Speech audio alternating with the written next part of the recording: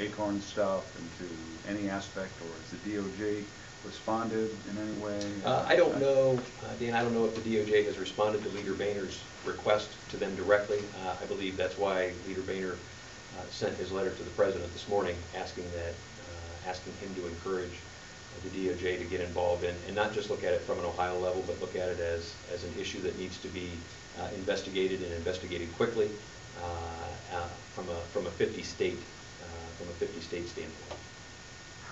And you said other legal, uh, I mean, other avenues, and you talked about the counties, but that, would you say disruptive.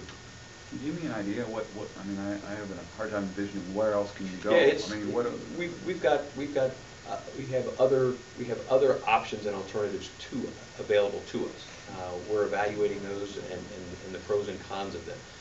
Uh, are they legal in nature? Uh, some, but not all. Some, but not all. Considering Ohio's voter ID requirement at the polls, can you give some kind of hypothetical example of, of where someone could still vote fraudulently with a, with a bad registration, even when you're required to show, here's, here's who I am, here's my address?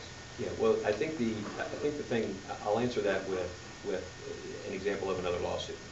Uh, And, and where this whole system starts to break down is, and is, is on this issue of ID.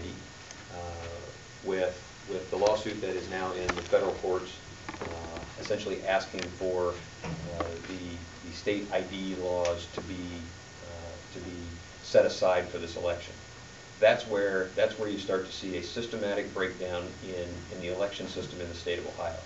Uh, Let's go back, all the way back to, to what Secretary, to, to, let's go back and look at the Secretary of State's uh, history in this office.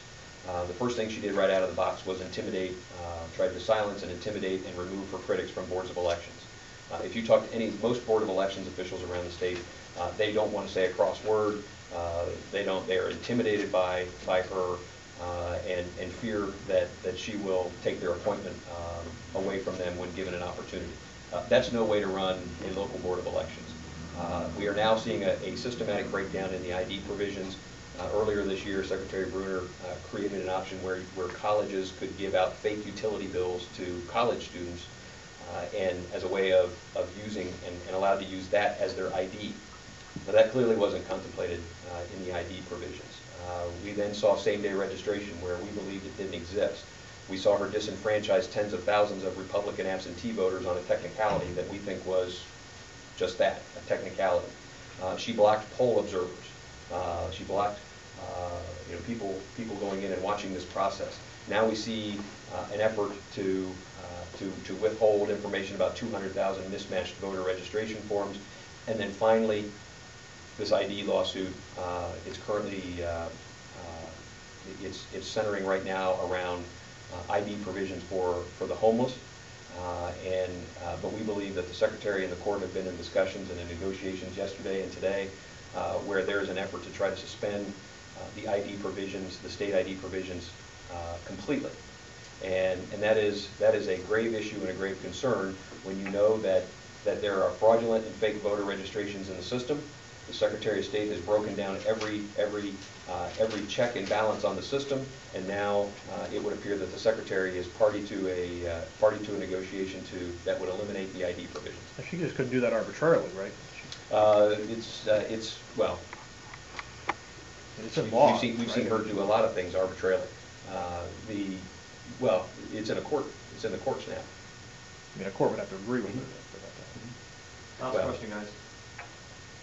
You, you said that you weren't sure about the validity or or about the, what happened with the security breach. Do you doubt that there were death threats against Secretary Brunner that have been reported?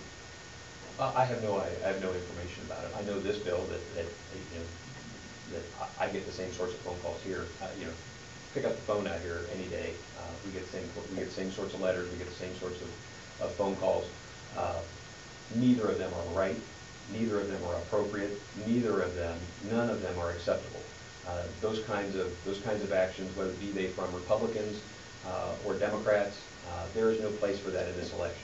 Uh, What we all want and what we all expect is a fair shot, is a fair shot. Give my, give my candidates a level playing field, uh, and, and I'll, and I'll take the results, whatever they may be on election day. Uh, But, uh, but uh, those sorts of, those sorts of, of of actions, those sorts of death threats, those sorts of, of uh, of nasty phone calls that we all get in these very, in these very heated partisan, uh, in these very heated and partisan uh, uh, times uh, are simply unacceptable, and there's no place for them in this, in this business. Kevin, are you saying you've had death threats against you? Uh, I have had nasty, uh, I have had nasty phone calls as well, yeah, yeah. Have you had, asked, uh, like, the police to, uh? I have not. look at- look at- have not.